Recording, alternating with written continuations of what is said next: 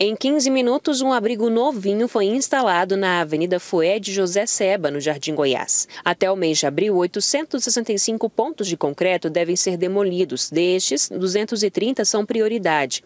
Eles foram classificados em estado crítico pela perícia. Até o momento, 206 abrigos foram retirados. Destes, 94 já foram substituídos por estruturas novas ou reformadas. E todas elas contêm informações importantes a respeito respeito do número do ponto, quais as linhas de ônibus vão passar pelo local, além de telefones da segurança pública para os passageiros. São 7 mil abrigos que devem receber melhorias. Nós temos agora uma sinalização que atende ao, ao ônibus para que a gente possa ter um, um, um transporte mais seguro. Né? Eu acho que a, vocês sempre cobram isso, segurança, conforto, dignidade para o passageiro. Eu acho que a gente está conseguindo começar a oferecer isso e eu acho que esse é o trabalho, oferecer essa condição para que o passageiro perceba essa mudança.